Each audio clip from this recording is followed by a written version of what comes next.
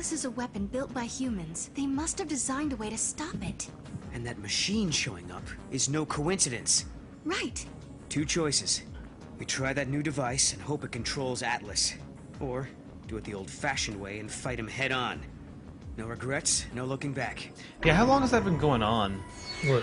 The if you if you watch an ad before the feed, it will it delays the feed, and so chat's live, but the feed isn't.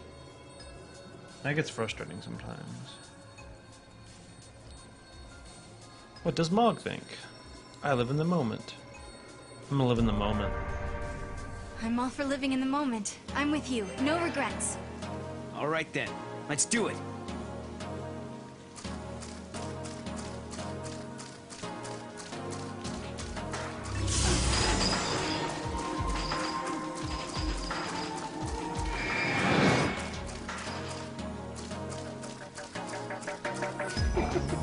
If it's the giant you want to take down, then take a look around.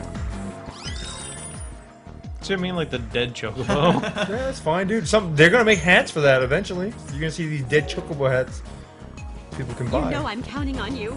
Everyone is. so she, there's, I see. A, I'm looking in her box. I see like a move. And what is that? Is that? Looks like there's a stuffed chocobo. Like there's a leg coming out. Yeah, I see the leg, but what's that on the left? That kind of looks like Carbuncle. It is.